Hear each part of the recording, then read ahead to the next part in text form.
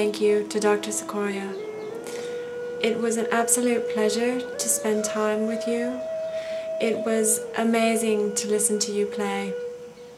My two and a half year old daughter was sitting on my lap. It was about 9.30 at night when Dr. Cicoria started to play for us. And she was starting to get restless and tired. But the moment that he began to play the piano, she almost stopped breathing. She was mesmerized. The gift that Dr. Cicoria is giving this world with his music is absolutely incredible. Thank you again, Dr. Cicoria, for opening your home, opening your heart, spending time with us. I'm truly, truly grateful. Much love and many blessings to you.